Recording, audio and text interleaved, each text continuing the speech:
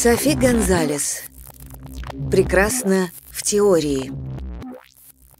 Маме и папе, которые в детстве показали мне красоту слов и держали меня за руку, когда я влюблялась в истории. Глава первая. Каждый в школе знает о шкафчике номер 89. Нижний справа в конце коридора рядом с лабораториями. Он пустовал много лет, хотя его давно должны были выделить одному из сотен учеников, который забил бы его книгами, бумагой и забытыми заплесневелыми пластиковыми контейнерами для ланчей. Вместо этого казалось, что существует негласное соглашение, согласно которому 89-й шкафчик служил некой высшей цели. Как еще можно объяснить тот факт, что каждый год, когда мы получаем наше расписание и комбинации для шкафчиков, у 88-го и 90-го появляются новые хозяева, а 89-й остается пустым. Возможно, «пустой» — не совсем подходящее слово. Хотя он никем не занят, почти каждый день в шкафчике 89 можно найти несколько конвертов с приблизительно одинаковым содержимым. 10 долларов, зачастую в форме банкноты, хотя бывает, что и набранные мелочью, которую отправителю с большим трудом удалось собрать. Письмо, иногда напечатанное, иногда написанное от руки, порой со следами слез с обязательным адресом электронной почты внизу. Остается загадкой, как конверты попадают туда, потому что увидеть, как кто-то просовывает конверт через вентиляционное отверстие — большая редкость. Но еще большая загадка кроется в том, каким образом конверты забирают, ведь никого никогда не замечали открывающим этот шкаф. Общественное мнение не может прийти к согласию относительно того, кто стоит за этим. Возможно, учитель, которому нечем заняться в свободное время, или бывший ученик, которому так и не удалось отпустить прошлое. А может, сострадательный уборщик, желающий подзаработать. Единственное, в чем сходятся абсолютно все, если у тебя проблемы в отношениях, и ты просунешь письмо в вентиляционное отверстие шкафчика 89, в течение недели ты получишь на свою электронную почту совет от анонима. И если ты достаточно мудр, чтобы последовать ему, проблемы в твоих отношениях гарантированно разрешатся или тебе вернут деньги. Мне редко приходится возвращать клиентам их деньги. В свою защиту скажу, что в тех исключительных случаях, когда моя помощь не сработала, в письме отсутствовала важная информация. Например, в прошлом месяце, когда Пенни Мур написала мне, что Рик Смит порвал с ней через комментарий в Инстаграме, но опустила тот незначительный факт, что он сделал это, узнав, как Пенни тайком встречалась с его старшим братом.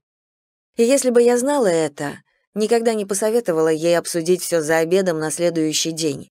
Так что тот случай не в счет.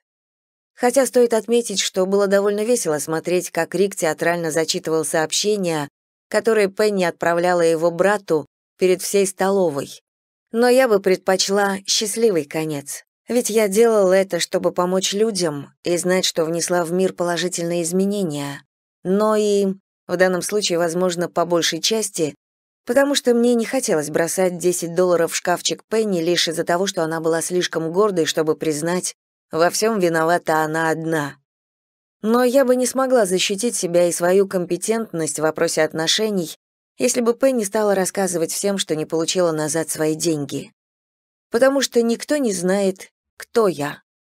Хорошо, я не имею в виду буквально. Много кто меня знает. Я — Дарси Филлипс, ученица средней школы. Та девушка со светлыми волосами до плеч и щербинкой между зубами. Та, что дружит с Брук Нгуен и состоит в школьном клубе в поддержку квир-сообщества. Дочь миссис Морган, учительница естествознания. Но вот чего никто не знает, так это того, что я та девушка, которая остается после уроков, пока ее мама задерживается в лаборатории. Девушка, которая крадется по коридору к 89-му шкафчику, вводит код, который знает наизусть уже много лет. С тех пор, как однажды вечером список кодов оказался на столе в пустом офисе администрации, и собирает письма и чеки оплаты. Та, которая проводит ночи, отстраненно изучая чужие истории, перед тем, как отправить тщательно составленные инструкции с фейкового аккаунта, созданного в девятом классе. Никто в школе не знает. Я единственная, кто хранит этот секрет. Или, во всяком случае, была. До этого самого момента. У меня было смутное предчувствие, что скоро все изменится. Потому что, несмотря на то, что я каких-то 20 секунд назад, как обычно, проверила коридоры и убедилась, вокруг нет оставшихся после уроков учеников и школьных работников, я была на 13 тысяч процентов уверена, что слышала, как кто-то прокашлялся чертовски недалеко от меня. Пока я была по локоть в настежь открытом шкафчике в 89. Черт. Но даже когда обернулась, я все еще оставалась максимально оптимистично настроена и надеялась на лучшее. Одной из причин, почему меня так долго не удавалось поймать, было удобное расположение шкафчика прямо в конце тупикового Г-образного коридора. В прошлом мне приходилось бывать на волосок от катастрофы, но звук тяжелых входных дверей всегда сообщал мне, когда требовалось немедленно спрятать улики. Единственный путь, который кто-то мог бы использовать, чтобы подкрасться ко мне, вел через пожарную дверь из бассейна, но никто не плавал там в такой поздний час. Однако, судя по виду очень мокрого парня, стоявшего передо мной, я серьезно просчиталась. Очевидно, кто-то бывал в бассейне даже так поздно. Черт! Я знала его, или, по крайней мере, слышала о нем.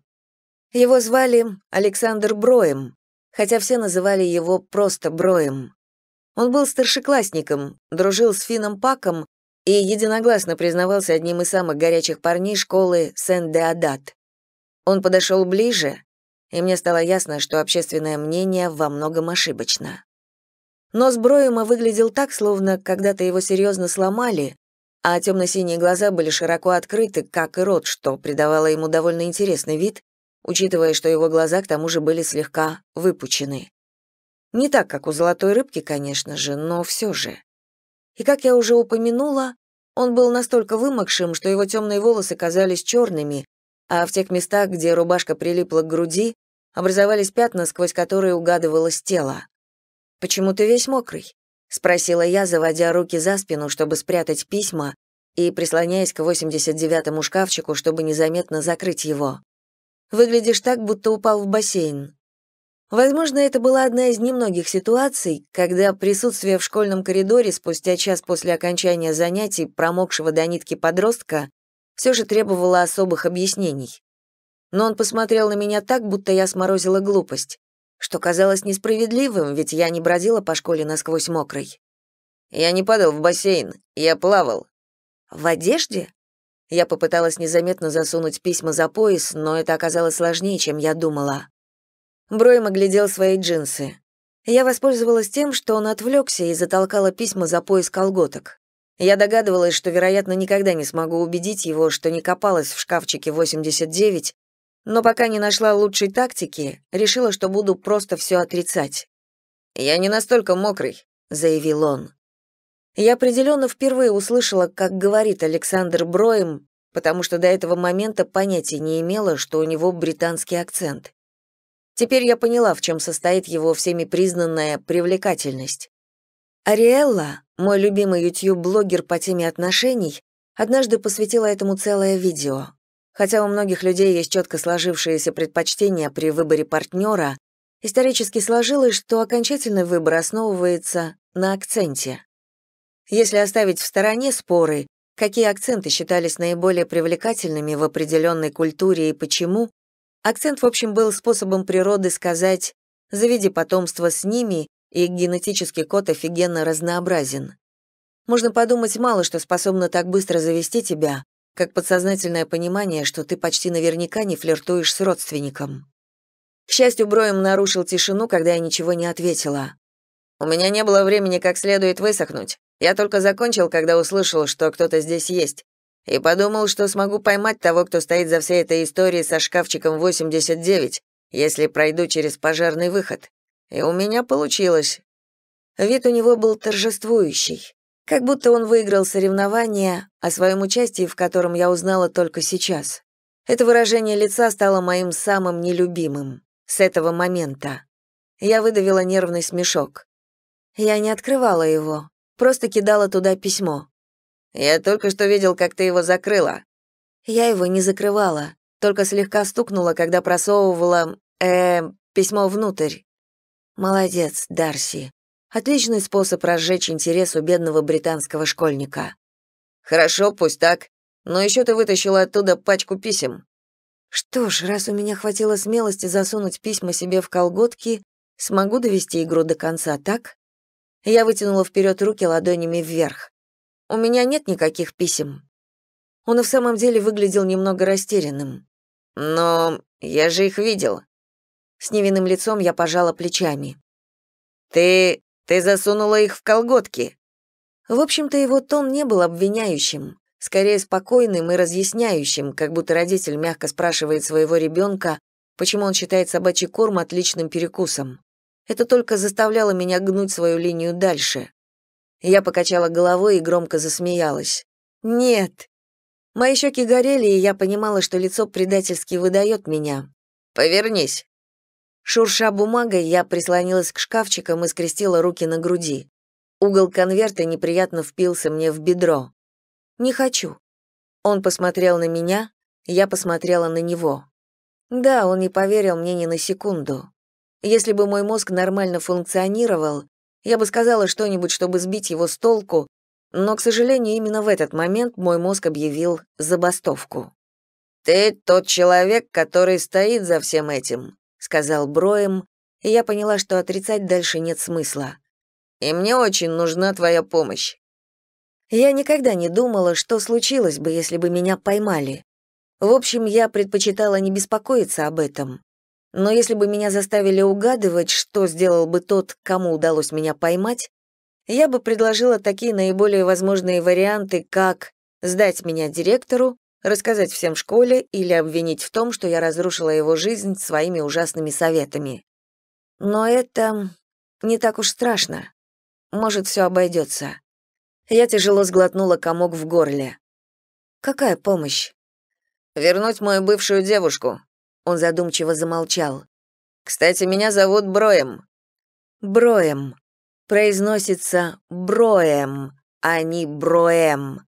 Мне было легко запомнить это имя, потому что оно всегда произносилось неправильно, и это раздражало меня с тех пор, как я впервые его услышала. «Я знаю», — сказала я тихо. «Какая у тебя часовая ставка?» — спросил он, оттягивая свою рубашку, чтобы запустить под нее немного воздуха но она с хлопком вернулась назад, как только он ее отпустил. Очевидно, он был совершенно мокрым. Я отвела от него взгляд и обдумала вопрос. «Прости, что?» «Я хочу нанять тебя». Он снова заговорил на странном языке, деньги в обмен на услуги. «Как?» «Коуча по отношениям». Он огляделся и прошептал. «Моя девушка порвала со мной месяц назад, и я хочу ее вернуть, но не знаю, с чего начать. Это не то, что можно исправить с помощью совета по электронной почте. Разве этот парень не драматичный? Ммм, слушай, извини, конечно, но у меня нет столько свободного времени, чтобы стать чьим-то коучем. Я просто занимаюсь этим по вечерам как хобби. И чем же ты так занята? спокойно спросил он. Эм, домашка, друзья, Netflix. Он скрестил руки на груди. Я буду платить тебе 20 долларов в час. «Слушай, чувак, я же сказала...» «25 в час плюс 50 долларов бонусом, если я верну Вайнону». «Стоп». Этот парень на полном серьезе заявлял, что даст мне 50 долларов, если я потрачу два часа, чтобы дать совет, как вернуть его девушку, которая однажды уже влюбилась в него.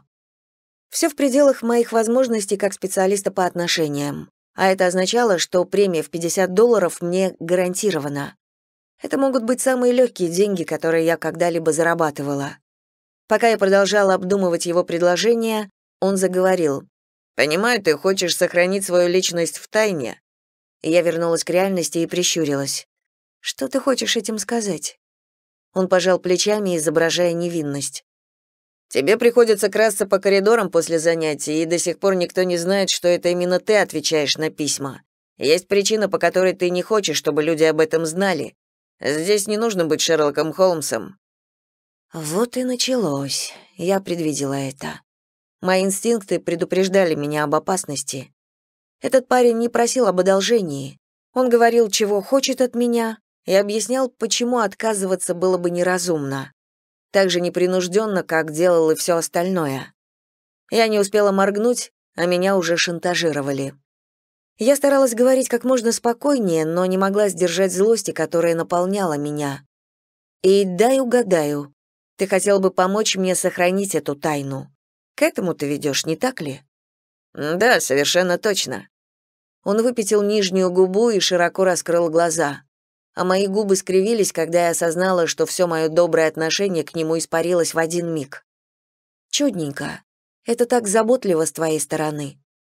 Броем невозмутимо ждал, когда я продолжу. Но я этого не сделала, и он махнул рукой.